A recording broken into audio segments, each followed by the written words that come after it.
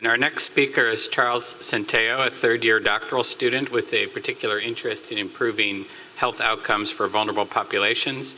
Uh, we've invited Charles to share some aspects of his uh, research work with us this morning. Charles. My remarks this afternoon now will cover the work that I've had the opportunity to participate in as part of the wonderful health informatics team here at SI. The core aim of connecting people, information, and technology, I'll try to weave in some of the work that we're doing into that framework. I'll conclude with some thoughts on the environment here and some of the observations that I've gathered along the way in this, as I start my third year here in this wonderful organization. Several years ago, I had an epiphany. I felt moved to do what I now call move from success to significance. I imagine we all define significance differently. But for me, that simply means participating in work that meaningfully impacts other people. That's it. And with that, I decided to get into healthcare. I didn't know much about it. That didn't matter. I didn't have a robust network there. That didn't matter. But I was driven by this notion of significance. All successful work is not significant, but all significant work is indeed successful. So I began my journey that took me around the world and took me here to SI as I honed in on what that might mean for me. And what that means now is improving or attempting to improve health outcomes for vulnerable people, and whenever we're sick, we're vulnerable for chronic diseases, the common ones, like diabetes, kidney disease, heart failure, and hypertension. So, people, one of the projects that I've had an opportunity to participate in involved trying to figure out what barriers people face, what challenges they face as they attempt to follow their treatment protocol. What does that mean? Simply put, taking medications, attending appointments, and lifestyle changes like diet and exercise. This involved visiting the homes, for the most part, the homes of people who faced some pretty daunting challenges. And I had the opportunity to sit with them in their kitchens, in their living rooms, and in one case, on a participant's bed as they had to lay down because they were so uncomfortable and hear some of the stories and try to understand some of the context around these very important health behaviors. My advisor Tiffany and I, Tiffany and I hope that what we've produced can make a meaningful contribution to the knowledge around what barriers people face when they attempt to follow their treatment plans. Information. Working in HI, in health informatics has given me the opportunity to leverage an already existing partnership that the school has with the Veterans Administration, a partnership that I didn't know existed a year ago. My focus there is trying to understand the circumstances that providers make, providers, nurses, doctors, pharmacists, as they make recommendations for care for their very special patients, particularly those recommendations that may differ from standards of care, which we know happens all the time, but we don't know much about the circumstances in which those decisions are made and the information that's used to inform them. And that wonderful work has hopefully begun to round out my understanding of those circumstances and the work that we'll produce will meaningfully contribute to the body of knowledge around it. Because I've looked, and we don't know much about the circumstances that surround those decisions, and we know even less about the information that's used to inform them. Technology. This is one that I'm obsessing on right now. So, how do we leverage these wonderful tools that are available? Some available readily, cheaply, to get some of that information to the decision points that are happening in exam rooms and clinics all around this country. These decisions that do differ from care standards. How do we leverage the ability to collect information about my blood pressure right now, about how many steps I've taken today, about what I plan to eat or have eaten, and inform providers who are making decisions, very important decisions, that are dependent upon that information. Again, not an area that we know much about, not we at SI, but we generally. So inter interface, the interface of people, information, and technology, although the, the mission has been edited along the way, is still very true. I find those themes easily in the work that's being done in health informatics. Now I'd like to share some thoughts on the organization. UMSI, I've been instructed to refer to it as UMSI.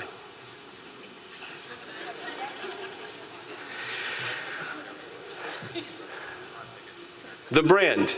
Okay, we're all here because of the wonderful reputation of UM and UMSI. Most of us are blessed with opportunities to participate in work all over the world and do. We don't have to do it here, but we choose to. And what a wonderful convergence of motivation that sets up an environment where we all can participate in meaningful work. I'd like to send a special welcome to our international students. And as someone who's had the opportunity to spend time working and living outside this country, I can begin to appreciate what it must be like to be so far away from loved ones and so far away from familiarity. So thank you, welcome, and your journey of courage is extremely inspiring. Next, let's try to keep in mind that problems aren't invented in graduate school. When, they're in the, when we're in the throes of our work, I'm very guilty of this. Sometimes we think there's nothing else going on but the immediacy of the concern. And as I reflect on my professional and personal experience, I see patterns in the challenges. One truism that my parents, both educators, instilled in me when I was too young to even fathom what they were talking about is the notion that growth and development rarely coexist with comfort and convenience. So, growth and comfort rarely exist in the same place at the same time. Almost by definition, growth requires discomfort. And sometimes we resist that. I know I do. But together we can work together, continue to work together to support one another during these challenging times. These challenges are unpredictable. These challenges we can't dictate. But there's a wonderful environment here of support. And as I look around and see familiar faces, some that I met last night in a at 501 section, some that I met when I first got here, I make the observation that I've never been turned down when I've sought support. And I only hope to contribute to the wonderful work that's already being done here by doing the same and to offer that support in many different ways, under many different circumstances, when people are facing sometimes very trying, difficult times. Flexibility. I haven't seen another school on campus that addresses a more diverse set of challenges. And I've looked around. Connecting people, information, and technology is not easy. And I submit that that's probably what energizes that work for us. It requires flexibility from all of us. Like many of us, I've chosen to participate in pretty daunting challenges. How to improve wellness, how to improve health outcomes, leveraging technology and information. To support solving them, I'll need to be flexible. I'll need to be confident and bold, but not rigid and narrow. Sometimes that's a hard balance to strike. Chipping away at these issues will require the best from each of us and support from all of us. And I think this environment is so rich in that area. I'll conclude with sharing my reflections in my, on my fifth autumn in Ann Arbor. Two at the business school and my third here. The mornings become a little crisper. The leaves will change color soon. And new possibilities abound as we enter into a new academic year. And of course, there's football. I didn't mention America's favorite game to impart another cliche. But I will share that my observation is that some of the very best coaches have first been the very best teachers. And some of the very best players have been the very best students. Vince Lombardi is one of America's most respected, revered coaches. He also was, a, more important to me, a wonderful teacher.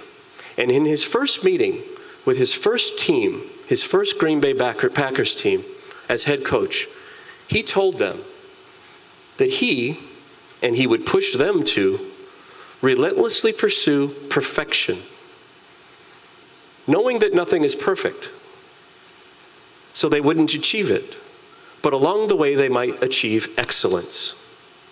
He told them that he wasn't the least bit interested in being just good and it inspired them. And as I look around, I see professors prepare lectures, advise students, seek tenure, not to be just good. I see staff that plan events like this, that rescue us from our crises about connecting our gadgets to the network and printing stuff. They do that not to be just good. And of course, us students. We didn't apply, we didn't choose to come here to be just good. We don't toil away in meeting rooms, try to find meeting rooms to be just good. We don't put our heart, soul, and spirit into documents to have them ripped apart by people in order to become better to be just good. We don't study together, form groups, and work things out to be just good.